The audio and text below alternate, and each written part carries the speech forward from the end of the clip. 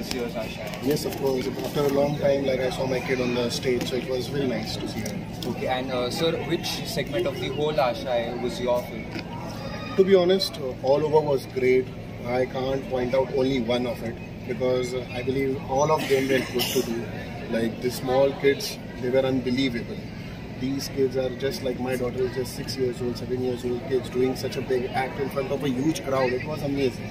Like there is no particular thing that I can point out over there. Thank you so much. Thank you. Thank you, ma'am.